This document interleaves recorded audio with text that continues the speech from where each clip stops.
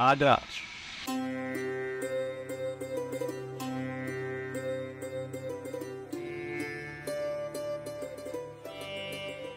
Agra famous है ताजमहल की seven wonders international wonder कह सकते हैं आगरा शहर मुगलों की राजधानी रहा है। बहुत नई चीज़ नई- नायाब चीज़ कह सकते हैं आगरा के लिए कि पाँच वर्ल्ड हेरिटेज मोन्यूमेंट्स आगरा शहर के अंदर आते हैं मुगलों ने आगरा को बहुत अच्छी अच्छी ऐतिहासिक इमारतें भी हैं। सबसे ज़्यादा पॉपुलरिटी आगरा के अंदर जितने भी मोन्यूमेंट्स हैं मुगल आर्किटेक्चर बेस हैं। इन्हीं इमारतों को ध्यान रखते हुए हमने इस बिल्डिंग को डिज़ाइन किया है। इसमें हमने मुगल आर्किटेक्चर को पूरा ध्यान रखा है। मुगल आर्किटेक्चर कहीं कहीं पे उस पर राजस्थान आर्किटेक्चर का इम्पैक्ट दिखाई देता है। हमने कलाकृति जो बिल्डिंग बनाई है आप उसको यदि ध्यान से देखेंगे तो उस मुगल आर्किटेक्चर को ज़्यादा फॉलो किया है। और इसके लिए हमने जो लाल पत्थर सारा इंपोर्ट किया है राजस्थान से मंगवाया है। और ताजमहल में जो कलाकारी दी है इंदे इंदे वर्ग जिसे बोलते हैं। हिंदी में उसको पच्चीकारी बोलती है। और उसके ऊपर सारा पच्चीकारी वर्क आगरा में कराया है। स्टेज स्टोन के ऊपर डिफरेंट कलर के स्टोन्स का इनले करके डिज़ाइन क्रिएट किए जाते हैं। तो उसको जो यूज़ करके किया गया उससे उससे इंस्पायर होकर ये बिल्डिंग पूरी हम लोगों ने डिज़ाइन करी है यहाँ पे। इस बिल्डिंग को हमने लगभग 2005 में बना के कंप्लीट किया था। इसमें मुगल आर्किटेक्चर का और कहीं पे आपको राजस्थान आर्किटेक्चर का वो मिक्सचर दिखाई देगा। यहाँ पे हम लोग, इसके अंदर हमें ऑडिटोरियम ऑडिटोरियम बनाया हुआ है। एक संग में आर्ट गैलरी हम ऑपरेट करते हैं, जिसमें डिफरेंट टाइप के कलेक्शन है। वर्ल्ड का मतलब इंडिया के सारे स्टेट से, सारे सिटीज़ से हैंडीक्राफ्ट्स का।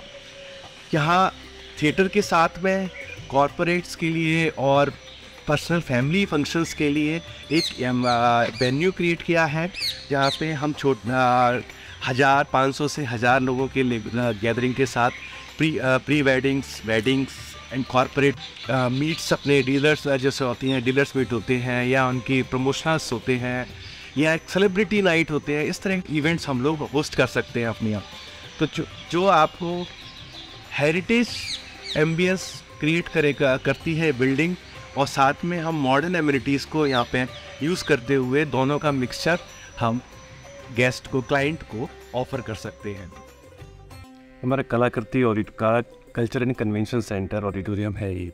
हमारे पास 585 सीटिंग कैपेसिटी का ये थिएटर है, जिसमें हम लोग डेली एक शो रन करते हैं मोहब्बत ताज जो कि ताजमहल के बनने की स्टोरी के ऊपर बेस्ड है।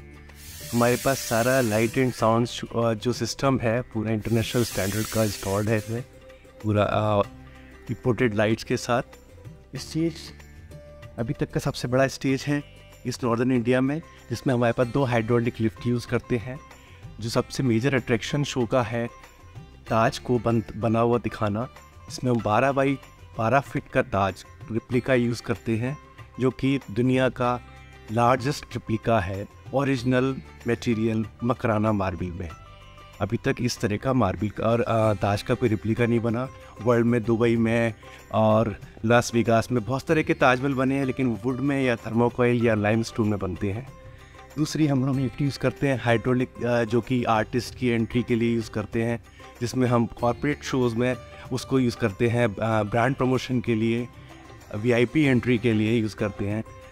एक दूसरा सबसे बड़ा अट्रैक्शन है क्योंकि हमारे यहाँ मैक्सिमम जो ऑडियंस है वो 90 परसेंट इंटरनेशनल टूरिस्ट होता है इन माउंट तो उसके लिए हमारे पास एक फैसिलिटी यूज़ किया है। हर सीट पे आप हेडफोन जो दिखाई दे दिखाई दे रहा है आपको उसके लिए हम लोग यूज़ करते हैं।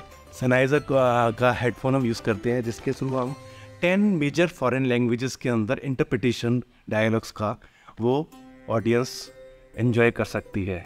जिसमें French German Spanish Italian English even Persian, Russian, Korean, Japanese, Chinese, लगभग जो पूरे मेजर फॉरेन लैंग्वेजेस है सबको हम कवर करते हैं।